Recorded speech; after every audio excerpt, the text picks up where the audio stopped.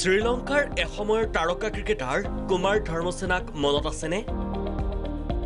বিশ্বৰ শ্ৰেষ্ঠ অফ স্পিনাৰৰ অন্যতম কুমাৰ ধৰ্মসেনা।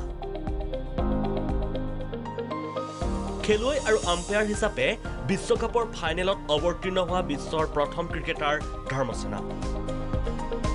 খেলুৱৈ জীৱনৰ সময়ছোৱাত সুতীক্ষ্ণ স্পিনাৰেৰে বিশ্বৰ বাঘা বাঘা বেটছমেনক ধৰাশায়ী কৰা কুমাৰ ধৰ্মসেনা বৰ্তমান আই চি চি এলিট পেনেলৰ আম্পায়াৰ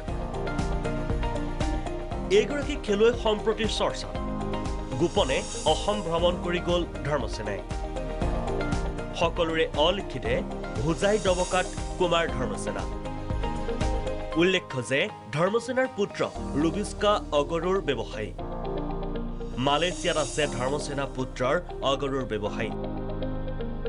অগৰু গছ বিচাৰিয়েই দবকাৰ ইছলামনগৰৰ বজাৰত ধৰ্মসেনা আৰু তেওঁৰ পুত্ৰ। নিৰাপত্তাৰক্ষী অবিহনে ইছলামনগৰৰ অগৰুৰ বজাৰত পুত্ৰসহ ধৰ্মসেনা। বৃহৎ পৰিমাণৰ অগৰু কাঠ ক্ৰয় কৰে ধৰ্মসেনাৰ পুত্ৰই। ইফালে ধৰ্মসেনাৰ সৈতে ছেলফি উঠে ইছলামনগৰৰ একাংশ ব্যৱসায়ীয়ে।